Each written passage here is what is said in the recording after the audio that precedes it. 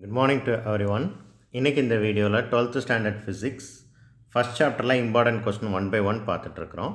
இந்த வீடியோவில் நம்ம என்ன கொஸ்டின் பார்க்க போகிறோம் அப்படின்னா energy stored in a capacitor இது ஒரு இம்பார்ட்டன்ட் த்ரீ மார்க் அடிக்கடி எக்ஸாமினேஷனில் கேட்குற ஒரு கொஸ்டின் ஸோ நான் இப்போ ஸ்டெப் பை ஸ்டெப்பாக ரீட் பண்ணுறேன் capacitor is not only store the charge but also it stores the energy so capacitor அப்படிங்கிறது சார்ஜை மட்டும் ஸ்டோர் பண்ணாது.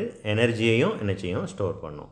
When a battery is connected to the capacitor electrons of total charge are transferred from one plate to another plate so எப்போ capacitor கூட பேட்டரியை connect பண்ணுறோமோ அப்போது ஒரு பிளேட்டில் இருக்கிற சார்ஜ் இன்னொரு பிளேட்டுக்கு என்ன செய்யும் அப்படின்னா ட்ரான்ஸ்ஃபர் ஆகும். மூவ் ஆகி போகும். ஒரு இடத்துலேருந்து கடந்து ஒரு பிளேட்லேருந்து இன்னொரு பிளேட்டுக்கு போகும். அவ்வளோதான் to transfer the charge work is done by a battery அப்போ கண்டிப்பாக அங்கே ஒரு வேலை நடக்கணும் அப்படின்னு அர்த்தம்.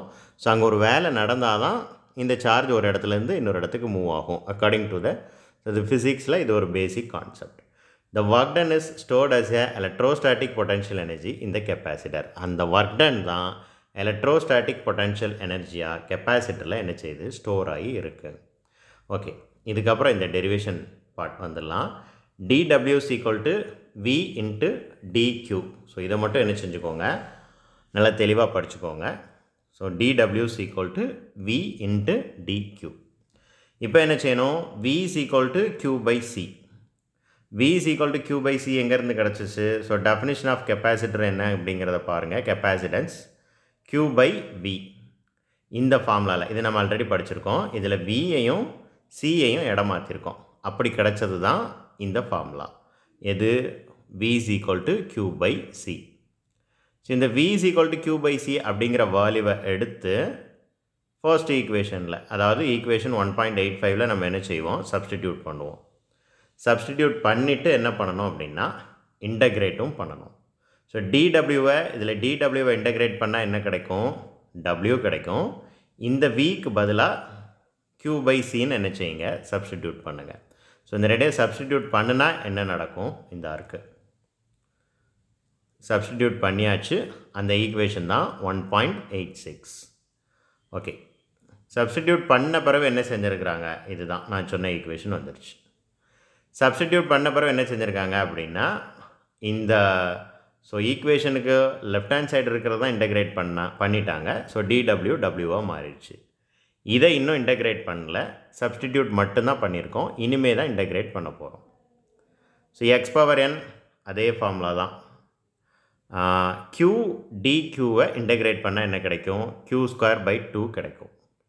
இது மேக்ஸில் இன்டகிரேஷனில் ஃபர்ஸ்ட்டு ஃபார்முலா ரொம்ப சிம்பிளான ஃபார்முலா பேசிக்கான ஃபார்முலா எல்லோரும் படிச்சிருப்பீங்க. எல்லாருக்கும் தெரியும். ஒரு தடவை ரீகால் பண்ணுங்கள் எக்ஸ் டிஎக்ஸ்னு இருந்தால் வேல்யூ என்ன கிடைக்கும்? எக்ஸ் ஸ்கொயர் பை டூன்னு கிடைக்கும் ரைட் நான் சொல்கிற ஃபார்முலா எல்லாருக்கும் தெரியும்னு நினைக்கிறேன். I think this is the first ஃபார்முலாவாக இருந்திருக்கணும். சாரி எக்ஸ் டிஎக்ஸ்னு இருந்தால் அதை இன்டகிரேட் பண்ணால் என்ன கிடைக்கும்? எக்ஸ் ஸ்கொயர் பை டூ இங்கே எக்ஸ் இருக்க வேண்டிய இடத்துல என்ன இருக்குது அப்படின்னா க்யூ இருக்குது தட்ஸ் இட் அப்போ நல்லா புரிஞ்சுக்கோங்க. அப்போ key sorry Q into d Q இந்த ரெண்டையும் இன்டகிரேட் பண்ணால் என்ன கிடைக்கும்? க்யூ ஸ்கொயர் பை டூ இந்த ஈக்குவேஷனில் இருக்கிற சி என்ன செய்யுது?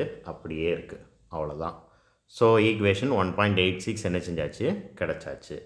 இதுக்கப்புறம் என்ன செஞ்சுருக்கிறோம் அப்படின்னா இந்த க்யூ ஸ்கொயர் பை டூ சியை எடுத்துட்டோம்.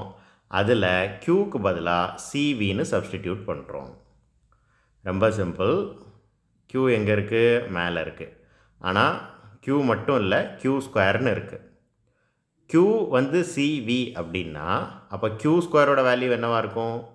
C square V square right divided by டினாமினேட்டரில் என்ன இருக்குது ஒரு டூ இருக்குது ஒரு சி இருக்குது ஒரு சியும் இங்கே இருக்கிற ஒரு சியும் என்ன செஞ்சிடும் கேன்சல் ஆயிரும். அதுபோக மீதி என்ன இருக்கும்? ஒரு சி ரிமைனிங் இருக்கும் ஒரு வி ஸ்கொயர் இருக்கும். அப்போ c v square by two c v square by two c v square by டூவை one by two into V ஸ்கொயர்னு என்ன செஞ்சுக்கலாம்? எழுதிக்கலாம். ஸோ ஓரளவுக்கு நமக்கு தேவையான வேல்யூ வந்து என்ன செஞ்சாச்சு? டெரைவ் பண்ணியாச்சு. இப்போ இந்த ஈக்குவேஷனில் என்ன இருக்குமோ அதை தான் இந்த பேராகிராஃபில் இந்த ஒன் பாயிண்ட் எயிட் செவனுக்கு கீழே இருக்கிற பேராகிராஃபில் வேர்டிங்ஸில் சொல்லியிருப்பாங்க. ஈக்குவேஷனில் என்ன இருக்குது the stored energy the stored energy is directly proportional to the capacitance of a capacitor okay the stored energy is directly proportional to the capacitance of the capacitor and the square of voltage and the square of voltage between the plates of the capacitor அவ்வளோதான் okay இது வரைக்கும் ஓரளவுக்கு எழுதிக்கலாம் ஆனால் எனக்கு full mark வேணும்னு சொல்கிறவங்க ஸ்கூலில் உங்கள் டீச்சர் சொல்கிறத ஃபாலோ பண்ணிக்கோங்க தேங்க்யூ